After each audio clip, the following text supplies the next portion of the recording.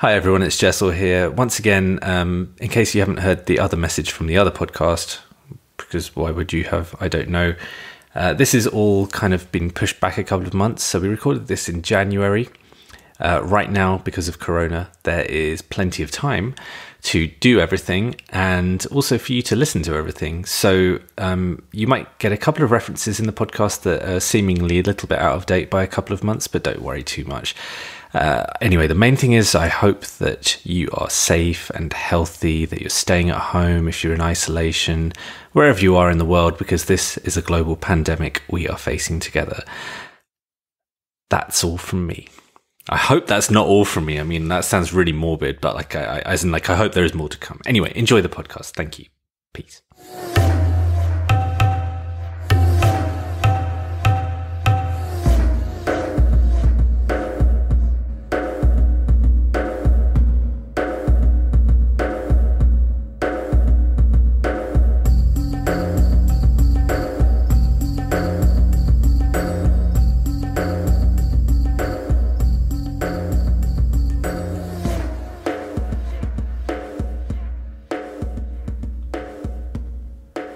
Okay, ladies and gentlemen, welcome back to the Transatlantic Rebels podcast. On this episode, we are we're going to. I made a joke in the pre pre session about Rochard just reading out his tweets. Uh, I honestly, I've never seen anyone tweet about one subject as much as he has about something that he's repeatedly said he's going to stop tweeting about. I am talking about Star Wars: The Rise of Skywalker. However, I will caveat that right? That's not criticism. And also, you've been tying it into all the other Star Wars films, which I have actually found really interesting. You've been like, there have been noted things that I no- that you noticed. That I was like, oh yeah, and then it's like a callback to episode one or two or four or this or that. So that's actually been really fascinating. But oh my god, it's been hilarious, and I, I reserve the right to slightly make fun of Rochard for going back on his word every hour on the hour. Give us more tweets, we'll give you the world. oh my god, I just couldn't take so, the takes. It's just I didn't want to do it. I kept looking at the takes and I'm getting more and more pissed off. Like, come on, guys, this is not complicated, guys. Come on. Film Twitter, you have gone to the sunken place. Honestly, you are in such a dark place right now with just not this film, not just this film, any film, any film right now.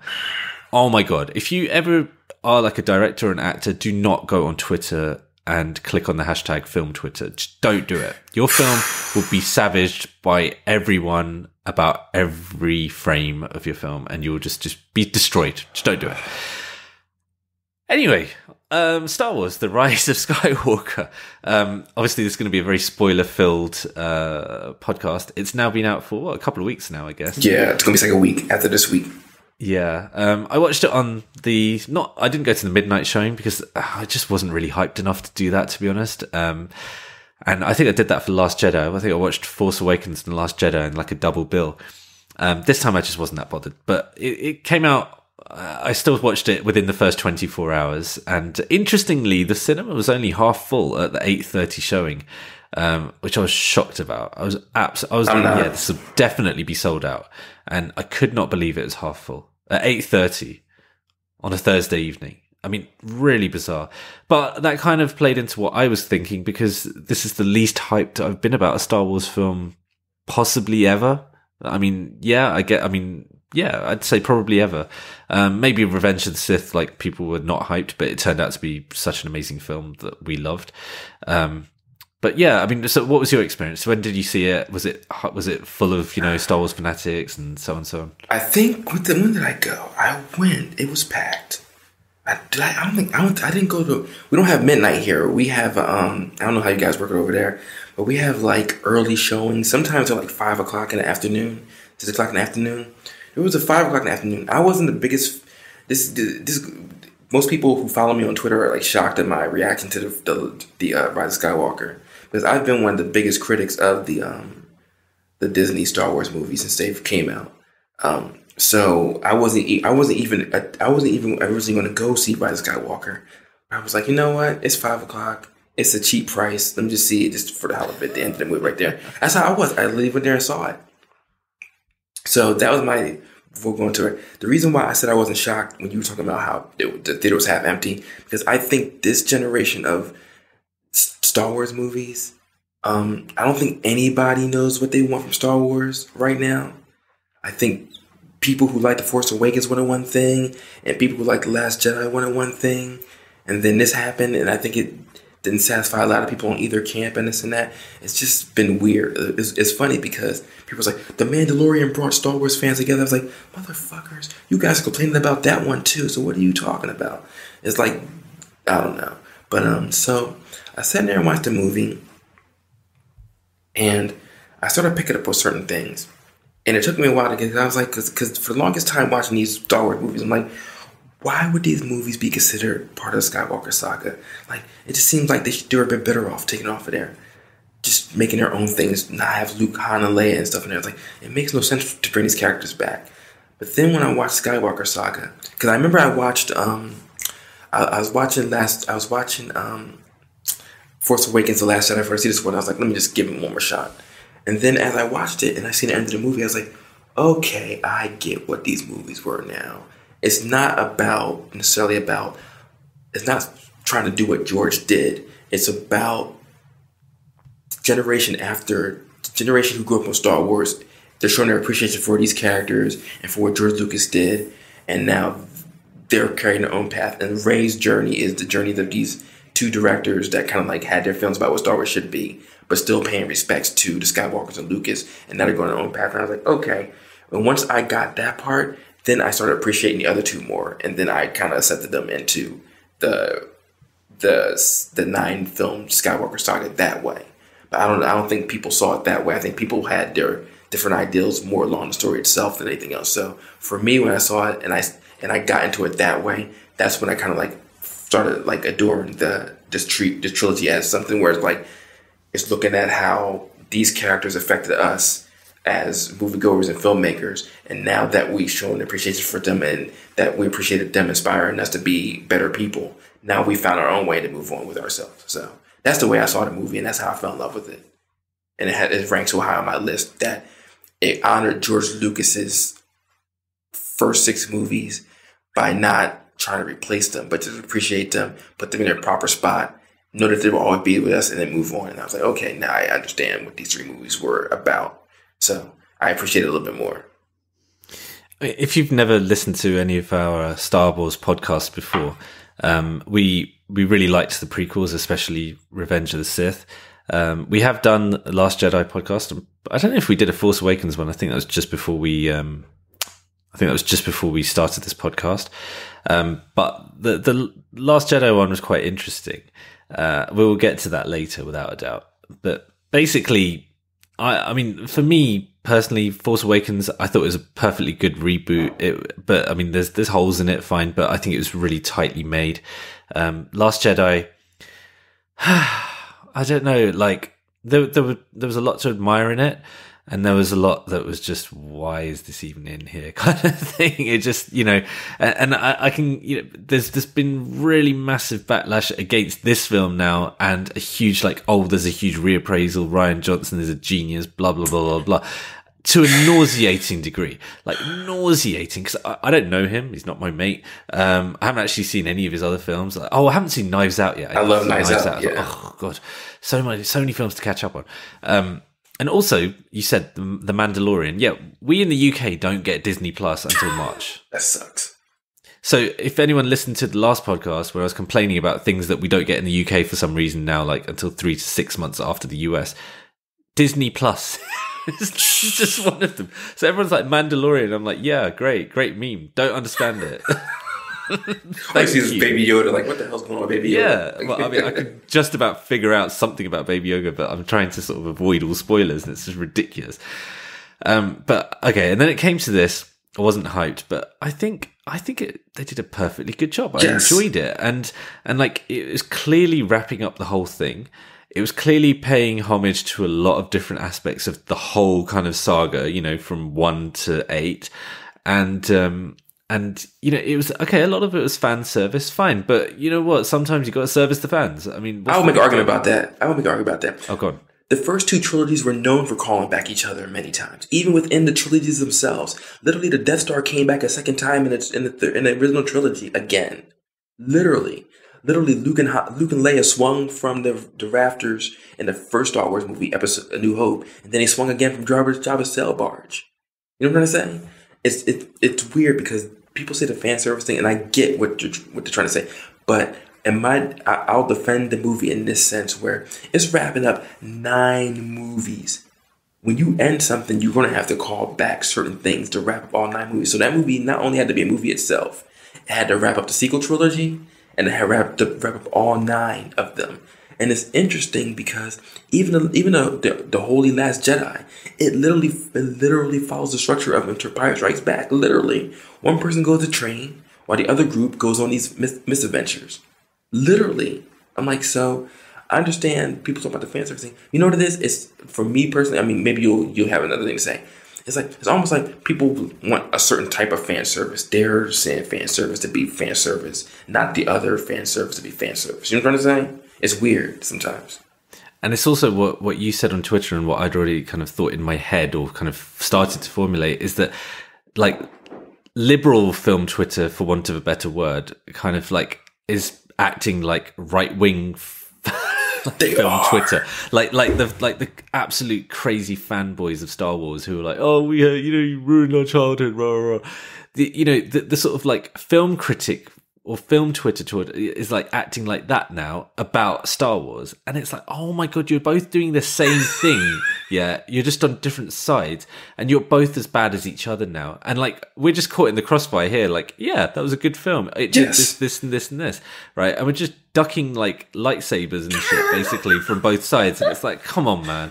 I said, and, and, that's what's really depressing and, and just, oh well, depressingly hilarious as yes. well. Like I have to say, is funny like I told people online, I was like, listen, I was one of the biggest critics of the Sequel Trilogy. I was a big critic, but even in my criticism of the Sequel Trilogy, I always, always, whenever, whenever I went off to it like a like an analysis, I would always say, if you enjoy the Last Jedi and Force Awakens, I'm happy that you enjoy that. I never shit on somebody's taste, going, you know what? That's not the real Star Wars. That's not Star Wars work. I was like, I was like, these are the themes that work for me in the original six movies, and these things don't work for me in in the Last Jedi. Because the Last Jedi, I had issues with Last Jedi thematically, but there was no point, no time that I said this wasn't the true Star Wars. I said I just agree with certain themes that it had that the other that contradicted the themes in the original movies. But I never said for a million years that this movie's trash because it's not the real Star Wars. It's not where it's gonna go. And people are literally calling out people's fan fandom.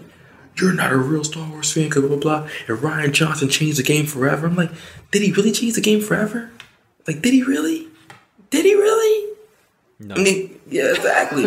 no is my opinion. Yeah, you're, you're, so right about the Empire Strikes Back thing. I mean, it's just it's frame for frame at times, basically, and mm-hmm. like certainly narrative for narrative. I mean, he he basically kind of updated it, made it really meta, changed yes. a lot of things in a lot of great ways. Um, brought in some amazing imagery, without yes. doubt. Yeah, some of the imagery from that film is astounding. Uh, but I mean, otherwise, it's basically Empire Strikes Back. Yes. Like so, Luke learns Luke learns a lesson at the end, and the other people learn to make learn that there's importance in making sacrifices. Han made sac- like Leia and Han had to make sacrifice at the end of Empire Strikes Back. The rest of the crew had to make sacrifice, but there's still hope at the end of the day. It's like the even the last shot. It's like there's still hope in the galaxy, even though they lost, or even though the bad guys were still out there. Like there was still hope, and it, you the first movie you introduced the characters. The second group, second movie, you had the complication, and then the last movie, you wrap it up. It's like, what did you like? What did people expect that the rest, the Rise of Skywalker was going to do? The good guys are going to win at the end. The whole entire point of Star Wars is that good overcomes evil. That's the point. Also, they said Harrison Ford used to get mad, and Lawrence Kasdan, who wrote the script for Return of the Jedi, used to get mad at George Lucas because like we want Han Solo to die, and Lucas's predict was like it's just as important that Luke saves his dad as the guy gets the girl at the end. That's the whole point of the Saturday morning serial. You get in the worst situation, you get in, and you get out. Those are the movies I grew up with. And sometimes I would, I, sometimes with liberal Star Wars Twitter, I want to say sometimes like these movies are based off the childhood of a white guy who grew up in Modesto, California, in the fifties and sixties. That's his. That's his childhood, and you want his vision of how the world is and what he grew up on to to encapsulate everybody and everything. And I was like, but the end of this movie is pretty much showing you that, like, now that the Skywalkers behind us, we can all forge our own path and have our own identity. If you guys would just sit there and watch the movie, because people complain about, well, Rey is grown up. She, she, she, they had her be nobody in the second movie, and now she's now she's Now you find out she's the emperor's da- granddaughter. I'm like, but the movies JJ is building on that theme of even if you come from somewhere, you don't have to be that. She rejected that. I'm like, it's like, um, what are you guys talking about? He built on the theme. He literally built on it. Luke literally says, like, I'm like, guys, Luke literally says, something are more than blood. The one thing you guys complained about, she rejected it. She took, there's a writer, it's funny because there's a writer who's writing the novelization of Rise of Skywalker. And she said that the, these people are complaining about the Rise of Skywalker. She's like, she's like, you guys may be upset about this. She's like, but some people who were adopted and some people who didn't have a family that loved them or came from a negative family, like that's something big to take the name of somebody else's family that showed you love, care, and compassion. That's a big thing. It's like, well, Rey should have had nobody's name. It's like, no, she found she was she she grew up a scavenger trying to. It's, it's funny because she's scavenging. This is how I know JJ had the ideal of having the emperor be her her her grandfather. That was his plan originally because she was scavenging a, a, a down that star destroyer, and she was literally living in the AT-AT. One of those one of those things that for guys you don't know the things the walkers that walk in the Empire Strikes Back. That type. So she her whole identity was she lived under the shadow of the Empire. And her biggest fear in the first two movies was she didn't want to be evil. That's her thing that she was scared of. And she went through a journey that realized that she doesn't have to be that. She does, because even the Emperor says in the movie, he's like, well, Luke was saved by his father, but the only family you have is me. And she rejected her family. She rejected the name. She, rejected that whole legacy because if you watch the movies, you look at the colors in the movies, where Luke and Anakin, their colors get darker with each movie her color does not change at all. So she's the antithesis of um of um the emperor. She's always been that way. She she that that's the whole theme of that movie. Like she came from evil, but she never even felt that fight. Even when Kylo Ren put his hand out to her and offered it, she didn't have the struggles Luke or Anakin had for the dark side. She rejected that. She just feared that she she was so scared that she thought she would fall into it, but her actions she never fell into it, and she finally realized that she never had to be that way at that point right there. Yep, and I, and I honestly, I don't see what is so difficult to understand about the general thesis of what you just said. I don't I don't get what's so difficult about it. Like, and and, and why has liberal and and listen, we're both pretty liberal, general, Yes. generally quite liberal guys or whatever. whatever. We're certainly not like right wing fascists or anything. Definitely not. Yeah, we're certainly not the kind of people who are sending you know shit in the mail to Rian Johnson for you ruined our childhood. Blah blah blah. I would say I would say we're healthily we're, we're reasonably progressive. We're reasonably definitely, definitely, yes, without a doubt, exactly. you know. yeah. um, we're both feminists, all that kind of stuff, all the kind of stuff that the right hates, basically, with that. Yeah. Yeah. But right now, we're both looking at this from the middle, and we're like, uh, how can you not be getting certain things? Like it, you're basically, you know, your your hate, your hatred is blinding you, right? Like both sides are just blinded right now by this shit. And and what you're saying is absolutely true. Like, say for example, if if. If, if if his name hadn't been Palpatine, yeah, if he's not been like whatever the fuck his first name is, Tony or whatever, Palpatine, right? Tony Palpatine. right? Like if it had been Hitler, like something really obvious. That's the point. That's right? exactly yeah, exactly. Right. So, so if his granddaughter is going around, rolling around, being, and she just she doesn't know yet. She's like, fuck. She's just learned. she's just learned on on the show. Who do you think you are on BBC? Oh my god, my grandfather was Hitler. Yeah. Do you think she's going to roll around if she's got the choice of being like, oh yeah, yeah, my name is Rey Hitler? Of course, she's not going to fucking do it. Why would she? If she's got like any common sense, she's not going to bring back that name. She's everyone in the galaxy would hate her and automatically know. Okay, yeah, that all your anonymity is now gone, right? And and also, she's just choosing a path for herself, which she's actively choosing and rejecting Yes. the evil Agency. yeah, that has been. And and also the thing is, is that I think the, the thing that I really find mind boggling is the amount of I can understand identifying with a character, right? I can understand wanting certain things to happen, yeah. But we're also talking about someone who can shoot lightning from her fingertips. so They're when you're archetypal identifying with characters. someone, They're arch- right? She's going on the hero's journey. She's supposed to be. She's supposed to like Luke, Anakin, and, and, and, and Rey are supposed to be. When you watch those movies, anybody can fit into their shoes. They're walking the journey that every human being walked in life. They can't be one for one who you are. They can't be. They literally can't. They can't do that for you. Luke's, George Lucas said something at one point. I always, I always put this on Twitter. He's like, George Lucas said, people want a psychological reality from Star Wars that they can't give them. I like that's not what Star Wars is built for. Star Wars is all the he said I saw all the myths of human history, and these are all these are all the things that we I found common in all these myths, and I'm going to make this movie put out there. George Lucas had two goals, actually three goals. He wanted he wanted to make he wanted to make the Flash Gordon movie. He wanted to buy the rights for Flash Gordon, and they didn't give him the rights. He's like, you know what, I'm gonna make my own Flash Gordon.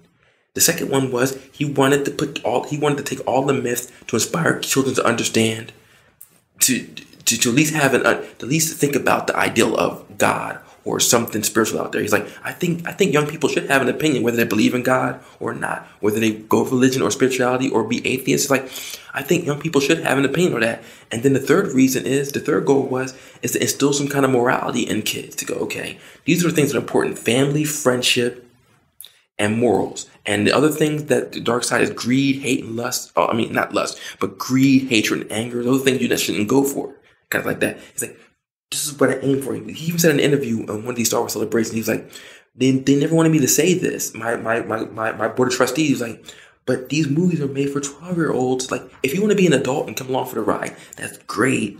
But I made these for the for 12 year old because that's what 12 year old, that's what I wanted for 12 year old and me. That's what inspired me with these mythologies and Flash Gordon, this and that. And he was like, but you guys want to be something that it's not.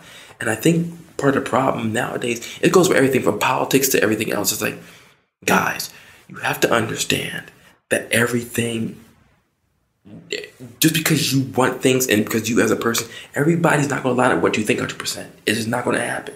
That's not reality. When I go voting, not to make this a political thing, I never voted for a politician in my life that I agreed 100% with because I'm pragmatic. I go in that booth and I go, which one of these people will make the most sense to me that won't hurt me or my fellow countrymen. And I make the vote that way. I'm pragmatic. I vote not for just myself, but I vote for the people around me, hoping that other people will vote sensibly as I do.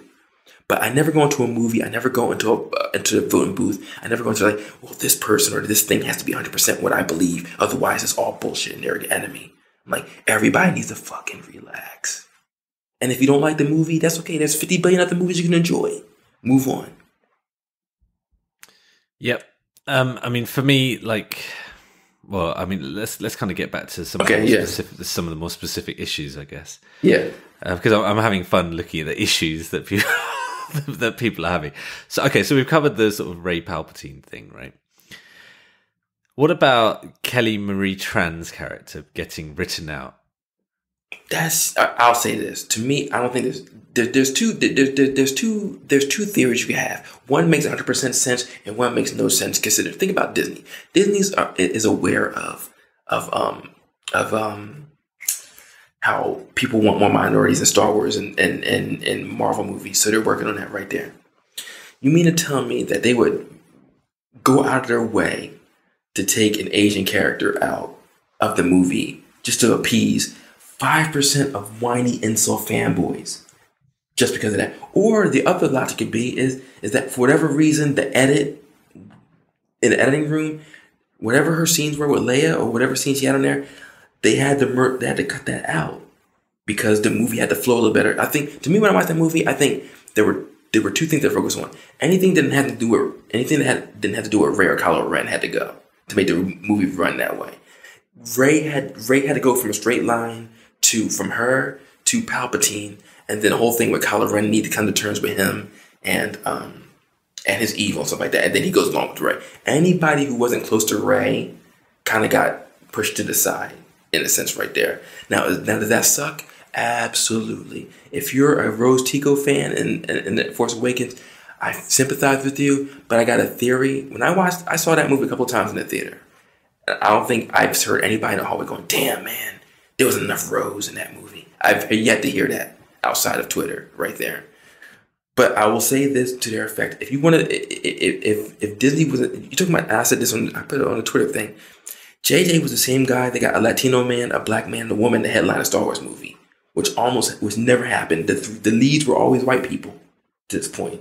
And and if there's a woman who was who was one of the third main one of the main characters, she was the second or the third main character. She wasn't the first main character right there. Like when I watched this movie, this is the most diverse I've ever seen a Star Wars movie.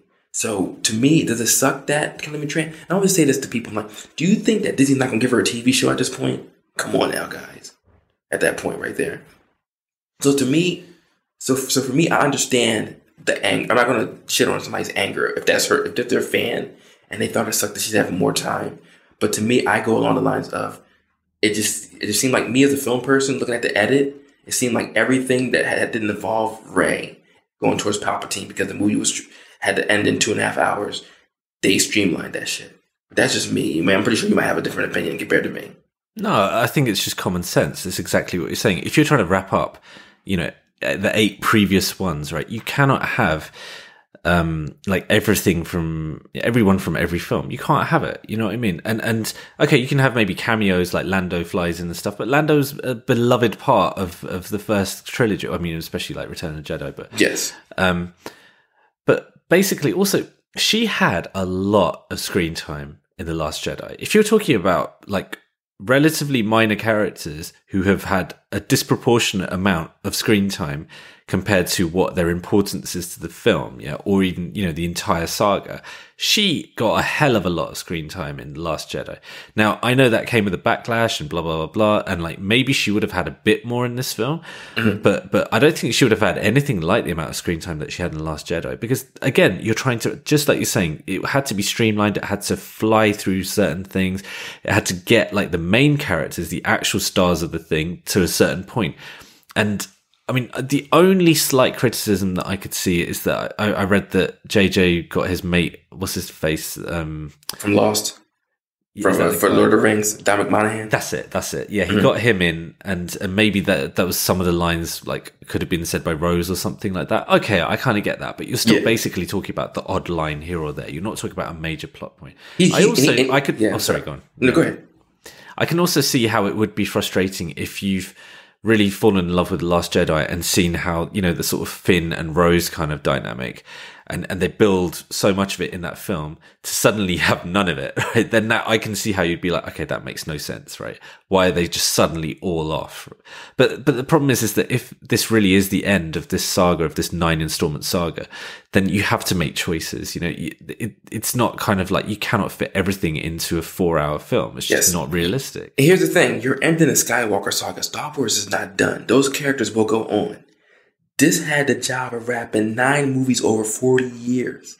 I mean, the, the Avengers thing is more complicated, but but this one, like, you had to end, the thing had to be about the Skywalker legacy. The whole entire point of the nine films is what was the, the like I said, this framed the last three movies and what was the legacy of Anakin and his children? What was the leg- What was their legacy, and what did they inspire in this next generation? And that's pretty much what this trilogy was about. Like this is the generation that grew up after the Skywalkers. And Rey specifically got trained by both Luke and Leia right there. So why would she not consider herself a Skywalker? Why would she not think that's the, a path that's better to follow than a Palpatine right there?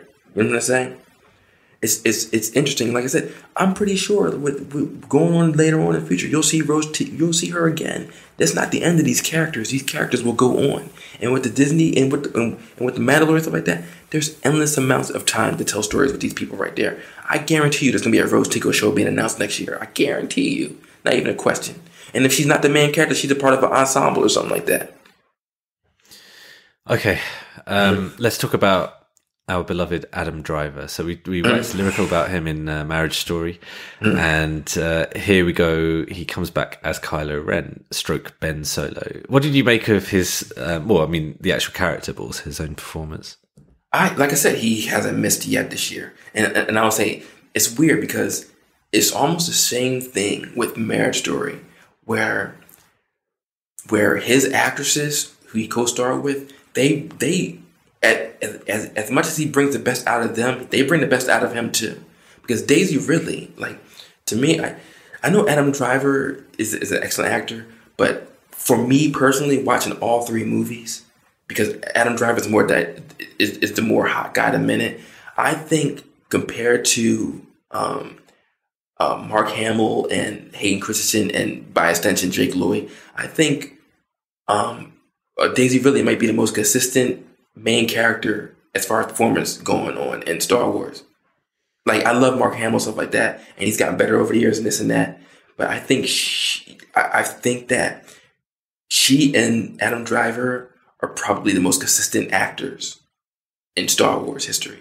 If, if, if you're looking at purely from acting performance right there and like and like being consistent and never missing the beat, you could kind of argue maybe Ewan Ian McGregor. McDiarmid. Ian McDiarmid was like in a class by himself. You can't compare. The Emperor is like in a category. You can't. That I'm talking about. The Emperor is one of the greatest villains of all time. That's not even in the same category, man. I can't even talk about that. Okay. He's that good should go without saying. So I, that's not shouldn't be acknowledged. That's just Ian McDiarmid. Like anytime, anytime the Emperor is on screen, whether he's not burnt or not, either, either- whether he's burnt by lightning or he's not, like this. Okay, we'll talk about the Emperor in a moment because he said one, of- one of my favorite. He's one of my. I I, I get giddy with the Emperor. So anyway. No, I think he was. I think he was fantastic. Like when you when the thing, the thing that the last, if if, if somebody were to watch the Last Jedi and then watch this movie directly after that, because I watched the Last Jedi again, and I'm like, when people are like, "Where did that kiss come from?" If you watch the Last Jedi, you can see where where the compassion and the attraction comes from. Because somebody made a, I was I was talking to somebody on Twitter, somebody made the point. Kylo Ren never wants to kill her he wants her to be by his side. He never wants to kill her at the point. He he's so lonely that he need he wants somebody by her side. And in some and in some way they got the connection of she comes from darkness and he went into darkness. And he needs somebody to relate to her. And there, and there's a line in this movie, and there's a line in Ren Skywalker, he was like, Well, I can't go back to my mom. He's like, after what I did to my dad, I can't go back to my mom after that. And he thinks he's gone. And she's kind of like, and it goes back to that cycle in Star Wars where Padme, even her dying breath, she still felt there was good in Anakin. Where Luke, he, he still felt there was good in his dad. And then now Rey thinks there's still good in the heroes. Of, there's the heroes of the stories where they go like, you know what? There's this darkness, but I believe in my heart of hearts that there's good, and there's always a chance that these people can come back. And I think that's what helped him get through there. Like she healed him right after he he was going to, in his final act, he was really going to kill her, and she still wound up healing him. He was like, Jesus Christ, like damn, I need to, I fucked up. I need to get my act together. It's kind of feel like that. But going back to this one, it's not as- he's not as comp, it's not as complicated as his character in um in Marriage Story because it can't be because he plays a human being in Marriage Story. He's playing an archetype in um in in um the, the Rise of Jedi, the Rise of Skywalker. But I think like Marriage Story, his his co-star brings out the best in him. And I just think for me, the M, the MVP besides of course me and McDiarmid, um, to me, I'm much more impressed with Daisy Ridley uh, than I am with um, Adam Driver. But he's a very right. He's right behind her for me. Yeah, I, I, think she just does a really good job all the way through. She never drops below like a, a seven out of ten. Basically, she doesn't even have any moments where I'd argue that she drops be- be- below Yeah. that kind of thing. Um, whereas, uh, obviously, I think you just talk about different eras, really. And, and under George Lucas, he was the kind of director which is just like, okay, here are the lines, get on with it. You know, there's no direction of the actual actors, really. Because his philosophy, yeah, because his philosophy was, I'm paying you millions of dollars. yeah. They're not complicated characters. Let's do it. And actors are more like we're all feely and touchy. Like, give us a moment to feel stuff like that. But there's some aspects of George I get, but I understand actors, so you could tell that JJ and Rian are better directors of actors than George Lucas was. George Lucas is a fantastic storyteller. He has vision. I think that his vision is so far ahead that sometimes his sometimes um, the people around him get frustrated because they're more of traditional artisans. He's more along the lines of like, I know what I want, guys. I'm paying you to do my vision. I don't need all this other crap. But but he he's not an actor director. I will admit that he by by any side of he's a he's a great visionary. He's done incredible things for cinema as far as technologically and story wise. But you could clearly tell that the acting across the board in the, in the if there's one thing I can say about the sequel trilogy, the acting across the board is uniformly excellent and consistent. Without a doubt. I mean, it, it, but but also I'd say that it's just of its era because Yes. you couldn't you couldn't get away with what like the prequels did acting wise and stuff like that. And we love the prequels, but Yes, you know, you, you couldn't get away with it now. Like what Yeah. what George Lucas needed, like if you kind of take the sports analogy, is he, he's a genius manager at like strategizing about building a squad, about doing all these kind of huge things, but he's not like a man motivator. He's not the one who will eke out individual performances like from those particular players. What he needed was a number two next to him to do that shit for him because that was Yes. his clear weakness. And and you know it, it's it's kind of a shame because then then maybe that would have kind of like redefined especially the prequels i think because Yes. you know like at least with star wars that's coming off the 70s era which was such a strong era you couldn't i don't think you could have fucked up too much kind of thing whereas, whereas i think the prequels was just a whole different can of worms but even when I was watching, I was watching the Phantom Menace. I haven't had time to watch all the Star Wars films recently. I really wanted to after watching Yeah. Rise of Skywalker, but I watched Phantom Menace and I was like, uh, you know, Liam Neeson and Ewan McGregor, they still do their shit, man. I mean, you know, there's uh, we have talked about this on podcasts, um, like go right to back to the beginning of our timeline, but you know, they, they give perfectly good performances. And Ian McDiarmid, yeah, the Aunt Ian McDiarmid. Uh, well, I mean, okay, you, you, you can you can talk about him now. I set you up. You can you can go for it. No, go ahead. I'm gonna finish. Why don't you finish your thought? Oh, okay.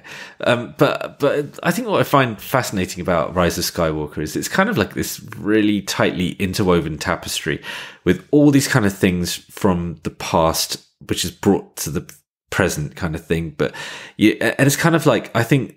I, I've only watched it once, but I can imagine watching it again and again and picking up on something else and something I else did. and something else. Exactly, and this is this is why it's so good that we're doing this podcast like a couple of weeks later. Because I don't know, have you been re- rewatching all the old films as well? I've been rewatching the seek. I watched the old one so many times I don't need to watch them anymore. But I've been watching the, the the sequel trilogy just to see how. Like I, I really do believe at the end of the day that looking at the sequel, looking at Force Awakens, Rian, no, uh, JJ was going towards the Emperor. He was going that route. I really do believe that at the end of the day. There are certain things when you look at the um the Force Awakens. I think Rian Johnson tried to do the subversion thing, and I'm like, I get that part right there. I'm like, and I tell people like, well, Rey is Rey. Rey is nobody. I'm like, but I don't think Rey would stop searching searching for her family history just because somebody told her parents were nobodies. I don't think that the girl who was a scavenger all her life waiting for her parents to come back go, you know what? I'm nobody. Life moves on. Let's move on. I think she would still keep going because she still kept the Jedi books. And so JJ was like, you know what? I can build back and bring it back around to how it originally was going to end the movie, right? Originally end the trilogy. I thought it, I mean, I thought it all fit because people say, well, it wasn't planned all the way. I'm like, George had an outline and he changed things as they needed to be from movie to movie. It's not like George had this, this, this out, this, this strict rules like you can't deviate from this. He had a, he had an ideal, he had an outline, and he deviated when needed because when you're making films, you have to be able to deviate from certain things because the reality of the situation. Sometimes things don't work out the way you work out on set, and you got to change that. Sometimes scenes don't work that you had. Sometimes you put something on paper, it looks like a good idea. You put it on screen and you do the edit. It's like, nah, it's not gonna work. Have, what the first rule of editing is, you have to kill any ideal, even if it's good, that does that hurts the movie. Yep. And I mean, coming back to that kind of tapestry element, I mean, you know, you kind of sit there and think back on this film. I haven't watched it again, but you have, you know, Han Solo fucking turns up in this film telling Ben to, you know, what you were saying before about, oh, I still think there's good in him, I still blah, blah. He said that in Force Awakens, yeah. And right before, before he leaves to go and get killed by his son. You want hear something funny? You know what? You want to hear something funny? The lines that he says to him in, in the Rise, Rise of Skywalker is the exact same words he said to him in the Force Awakens. Obviously, it- and of course yes, it is. And, yes. and that's the whole It, that's what I'm trying to say. People don't get that. People, yeah, people, people, don't, don't get that, you know. And and like he comes back again in this to sort of help, you know, cu- like crystallize the moment for everyone that okay, he's turning back into Ben Solo now. Yeah, you know, even when you were saying that um that Rey heals him, I don't know if you noticed, but the scar on his face heals as well, right? So, so it's that obvious a manifestation. Okay, he's now the good guy, and and actually, in terms of because I'm just thinking back to things you were saying before about like people shipping Rey and um and Kylo Ren, yeah, or or not shipping them in Last Jedi. The whole kind of like I remember we talked about it on the podcast, like when it looks like they're FaceTiming each other kind of thing, right? When they're just doing Yeah. this whole you know mind connection, blah blah blah thing. I remember that scene when he's shirtless and how uncomfortable she feels, and then she's like put a shirt on. But the sexual chemistry is clearly there, yeah, like absolutely. So it, it was planted there just in case that's the way they want to go, Yeah. Because there's always, you know, I mean, you had it in um, Ding Dong. What do you call it? The the original trilogy between Luke and Leia and Han. right? Yes. Now, okay, obviously with the benefit of hindsight, you're like it's clearly going to go this way, yeah. But actually, at the time, I'm sure people were like they didn't know exactly. You've got to keep that tension. And here, there is the tension between Rey and Finn, and you know Kylo Ren. Basically, Yes. I mean, it, it is there, yeah. And so it's not people just imagining it. And and okay, oh my god. Can I get back to things that I hate about film Twitter? So Okay. the whole thing. Just, just real quick, real quick. Better wrap it up soon because I gotta go. Okay, okay. So, so, so the thing, the kind of things that I really hate are when people were shipping Finn and uh, what's his face, Oscar Isaac's character, uh. Yeah. Things like that. I- I just I, I just hate it because I also think it's really patronizing to the gay community as well. I, I just it's kind of like you know things have to happen how they happen. You, you cannot force everything, and and like it's ridiculous, you know. And and then okay, they put in a lesbian kiss at the end, and then people are like, oh my god, I can't believe they were just in the background, and it was only two seconds. It's a fucking Star Wars film, guys. Come on, guys. I mean, Do you see a tweet? Do you see a tweet I had the other day? I was like, first of all, as a grown adult, why do you give a fuck about Star Wars character sex scenes? That's number one. I was like, if you want to see that, I was like, I put down, I was like, if you want to see that shit, go watch an R-rated movie or watch a porno. How about that? But I also wanted to say, I'm like, I also want to say, like, there's also some practice, I'm and I'm not, and I'm not trying to hold back gay representation or the LGBTQ representation. I'm all for that. Don't get me wrong. I'm like, but also there are parts of the country that are still edit stuff like that out in their theaters, like China and Singapore and stuff like that. There's still culture. There's still cultures. There's still cultures that still can't handle interracial relationships. Are crying out loud. Jesus Christ. So yeah, I'm just saying for for Star Wars get Star Wars will get there. I think once this once I think once they get the Skywalker saga out of the system, which they did, they can start lower like lower budget movies and they can afford to have more representation in these movies. I think a lot of this is when you invest like hundreds of millions of dollars in these movies, there's there's a lot more risk of failure. and All that money to recoup back. And I'm not saying that's the right thing to do. I'm not saying like you should hold you should hold um that stuff right there. I was like, but I also want to say, I was like, because people like, well, Disney should um should um should uh should uh rebel against China until they accept that more often. I'm like, if you really want to go to that dark place, then maybe Disney shouldn't support America because we still got kids in cages right now. yep. So if you want to take the moral high ground, if you want to tell Disney to stop dealing with China and dealing with Singapore about gay rights, then maybe Disney should stop dealing with us until we get kids out of cages. Just a thought there. Yeah, and and uh, as we talked about in the trilogy, uh, the prequel podcast that we did, um, will, we'll wrap it up in the next couple of minutes. But like, like you know, the whole thing is like people are, oh, this is about taxation and trade routes, blah blah blah. It's boring. It's no, boring. it was about fucking rise and fall of Hitler, man. It was Yes. about Nixon. It was about Vietnam. It was about all these things, and that's what it was really about. First in of all, did ways. yeah did, did, did, did Lucas pull out a tax a tax bill and say let's let's investigate the tax bill? like he said the, the, the argument was started over a tax with a tax route, and he's that's all he used it for. It's like that's the reason why the trade the trade federation blockaded this thing. The whole entire point of the trade blockade wasn't wasn't about the was about the taxes. It was about it was about Palpatine putting himself in position to take over as chancellor. That's what the whole entire thing was about. It's not. It wasn't about that at all. Okay, well, I mean, I tell you what, let's start to wrap it up now because um, I, I feel like we've kind of only sort of touched the surface of this film, and maybe we'll come come back. Uh, We do a Skywalker saga discussion or something like that. yeah, I think maybe we'll kind of sort of wrap them all up together, and and sort of then we can get into the more interwoven elements of it because it's really difficult. There's so much in this film. I mean, just but just generally, I really liked it. I, I enjoyed it. I came out with a high, and then I've kept thinking about it afterwards, and sort of and through the help of Twitter, the, the good side of Twitter, where where you kind of like, oh yeah, I didn't realize this moment was linked back to this and all this kind of stuff. So I've I've enjoyed just rediscovering it on on that side of things. Um, Yeah. So yeah. So what were your kind of final thoughts on the film? I'm I'm impressed that for all my criticism of, of Disney as a corporation, like I said, there, there- there's a gift and a curse of corporations. It's like um, I can't when I'm anti-capitalist on Twitter is doing that crap because we're all capitalists. Be honest with you, so if you unless you're Henry David Thoreau and you decide to go into the forest and build a log cabin and detach from society, you're still a part of the system. So let's just stop right there. But um, I'm impressed for me even though I think Endgame's ending was the greater achievement as ending a saga, because that was just Infinity War and Endgame at a whole nother level ended the saga. But I think, to me, I think JJ did, JJ and Disney and Kathleen Kennedy did the, the best job they possibly could wrangling in the Skywalker saga. And looking at the um, looking at the box office, I think most people do enjoy it, Twitter aside.